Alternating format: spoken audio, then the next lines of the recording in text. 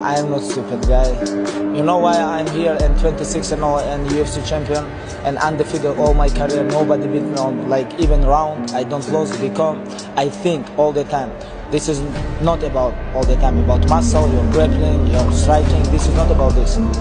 When you have good grappling, when you have good wrestling, when you have good jiu-jitsu, like everywhere, everything is no work. If your mind no work, you have to be